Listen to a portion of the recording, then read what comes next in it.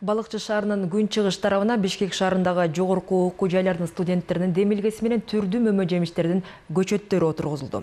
Эң башкысы эми бул аянт көчмөн багы деп аталмай болду. Анткени кыргызстандын атын дүйнөгө таанытып жаткан көчмөндөр оюндарынын урматына студенттер атайын белги жасап келип орнотушту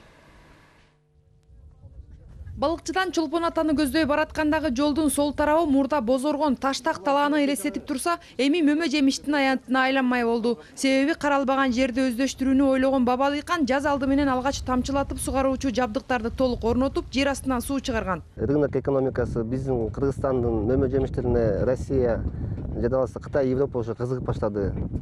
Э, алар биздин продукция аябай кызыгып атат но биздин объем аз болгону менен э, көп продукция сурап атышат ошол себептен биз деген ойлонуп ушул чоң объемдорго бактырып отуруп ушундай ой чыкты. Дыйкандардын бул максаты студенттердин айыл чарба тармагын өнүктүрүү боюнча демилгесине дал келди. Эки күндөн бери уланып жаткан иш чара биринчиден дыйкандарга жардам болсо экинчи жагынан агрардык факультетте билим алып жаткан студенттер үчүн атайын тажрыйба болуп калды. Эки күндөн бери бул жерде студенттер менен ушул иш чараны өткөргөнгө биз дагы жардам берип атабыз. Негизги максатыбыз ушул кыргызстанда айыл чарба тармагын өнүктүрүү болуп атат.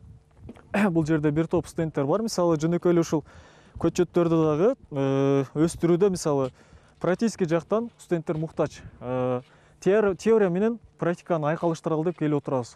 Жардам берүүгө келген жаштардын көбүнчөсү агрардык факультеттин студенттери. Эми дарактар мөмө бергичекти дагы далай ирет келүү үчүн макулдашты. Себеби алар үчүн дарактарга дары чачуудан баштап кантип туура бутоо жана канткенде мол түшүм алуунун жол жобосун үйрөнүп чыгуу кажет мисалы бул менин колумдагы алманын көчөтүн куурап калбай туура өсүш үчүн э, тамырын тереңирээк кылып бирок могул кыйыштырылган жерин көнбөй туруп жерге отургузуш керек экен.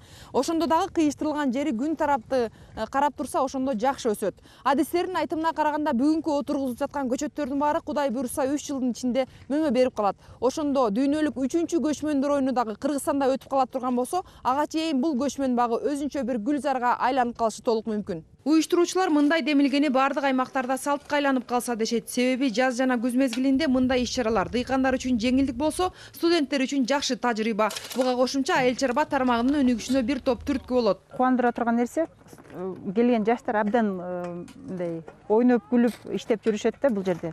Ушул э, фермерлер менен бизди мындай жакыныраак тааныштырып биз суроолорубуз бар эле мисалы ушундай эгерде ушундай ишкер катары жүргүзсөк бизнес жүргүзсөк анда бир гектарда канча тонна чыгат э, канчага сатса болот деп бүгүн бөлөкчө э, кызыгуу пайда болуп атат да.